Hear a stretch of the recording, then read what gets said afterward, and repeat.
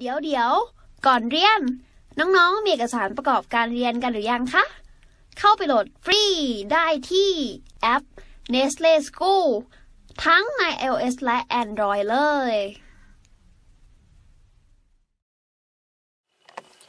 แบบฝึกหัดท้ายบทที่ 4 ในข้อที่ 7 นะครับ โจทย์ถามหาความน่าจะเป็นที่คนสองคนจะเกิดในวันที่และเดือนเดียวกันกำหนดให้ 1 ปีมี 365 วันนะครับ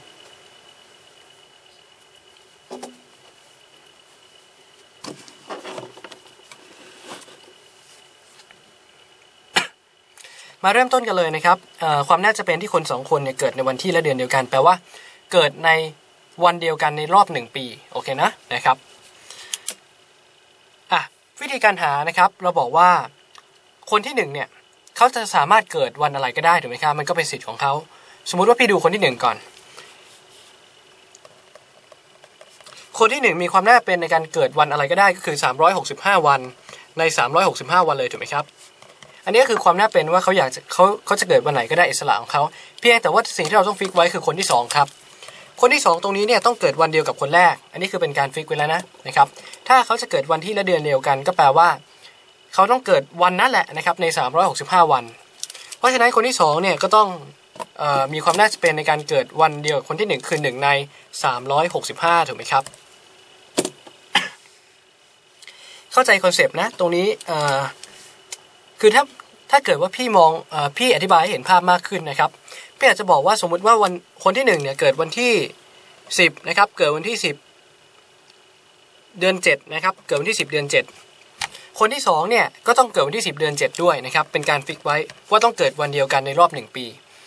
เพราะฉะนั้นคนที่1เนี่ยไม่สำคัญว่าคนที่ 1 จะเกิดวันไหนนะครับ แต่คนที่2เนี่ยต้องเกิดวันเดียวกัน โอเคไหม ราะคนที่ 1 มีสิทธิ์ในการเลือกอย่างอิสละเต็มที่เลยครับ 365 วันใน 365 วันนี่คือความน่าจะเป็น ส่วนความน่าเป็นของคนที่ 2 ในการเกิดวันที่เดียวกันกับคนที่ 1 ก็คือ 1 ใน 365 นะครับคูณกันเพราะว่าเป็นกฎการคูณเป็นขั้นตอนที่ 1 กับขั้นตอนที่ 2 ถ้าเลือกแค่คนที่ 1 อย่างเงี้ยงานยังไม่เสร็จ เลือกแค่คนที่ 2 งานก็ยังไม่เสร็จนะครับต้องจับมาคูณกันตามกฎการคูณ 365 ใน 365 ก็คือ1นะครับ1คูณอยู่กับ 1 ใน 365 ก็ตอบเท่ากับ ความน่าจะเป็นเท่ากับ 100 1ส่วน365 นะครับ หรือคิดเป็นตัวเลขออกมาได้มีค่าเท่ากับเท่าไหร่เอ่ย 1 ใน 365 เท่ากับ 0.0027 นะครับ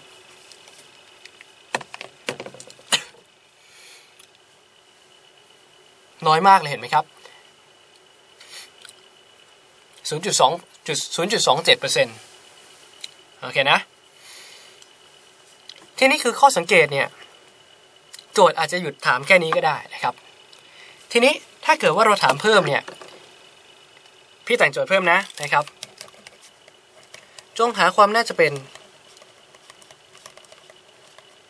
ที่ คนห้าคน จะมีอย่างน้อยหนึ่งคน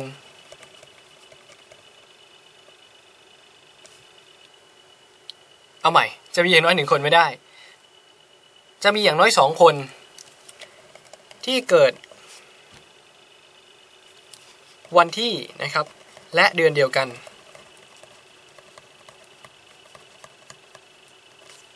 โอเค ถามเพิ่มนะครับ ถามเพิ่ม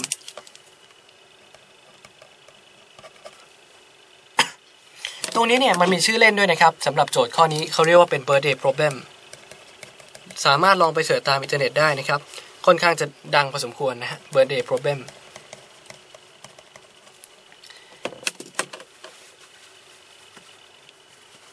อะลองทำด้วยตัวเองก่อนนะครับ แล้วค่อยกดดูเฉลยต่อนะครับ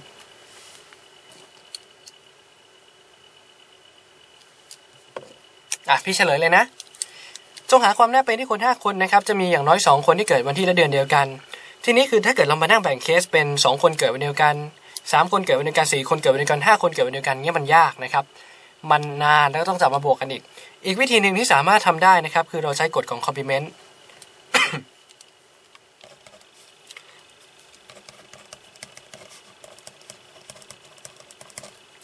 เราบอกว่า PE ความน่าเป็นในการเกิดอีเวนต์นะครับ เท่ากับ 1 ลบด้วย PE complement อีเวนต์ตรงนี้คือ คน 5 คนมีอย่างน้อย 2 คนเกิดวันที่และเดือนเดียวกันนะครับ E complement ก็คือ ไม่มีคนเกิดวันและเดือนเดียวกันถูกไหมครับ อันนี้แปลว่าไม่มีคนเกิดวันและเดือนเดียวกัน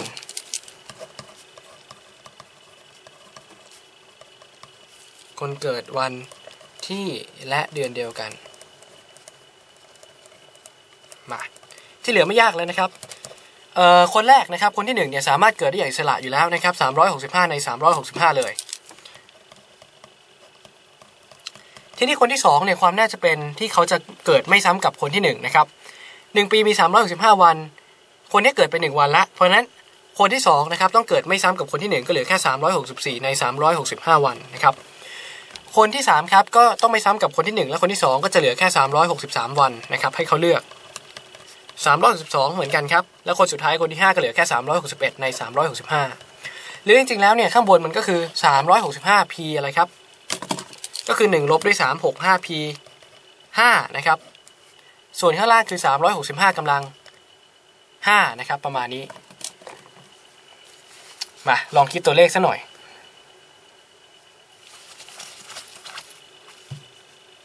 เอ่อ ก้อนที่ตัดกันไป 1 ใช่ไหมครับ ก้อนนี้คูณกัน กลายเป็น 364 คูณ 363 คูณ 362 คูณ 361 หารออกด้วย 365 365 365 365 นะครับ กลายเป็นประมาณ 0. จุดประมาณ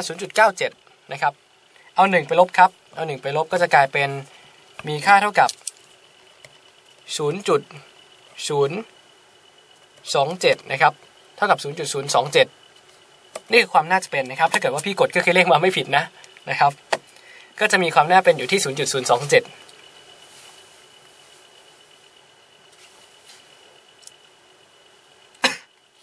ลองไปดูเพิ่มเติมนะครับเอ่อความน่าจะเป็นในการถึง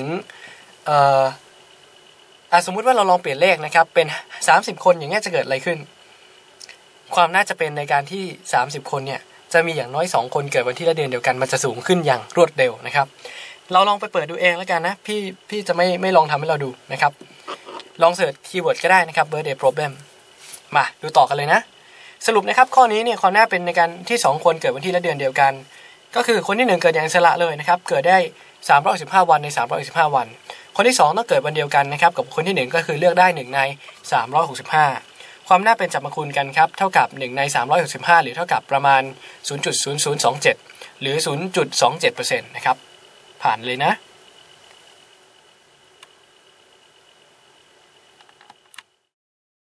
เรียนจบแล้ว อย่าลืม เข้าไปฝึกทำข้อสอบแบบจับเวลา ในแอป Nestle School กันด้วยนะจ๊ะ ถ้าน้องๆมีคำถามสงสัย ไม่เข้าใจตรงไหน ถามว่าในแอปได้เลย แล้วพี่ๆจะรีบเข้าไปตอบให้นะคะ โห คลิปความรู้ข้อนี้ดี เดี๋ยวแชร์ให้นะ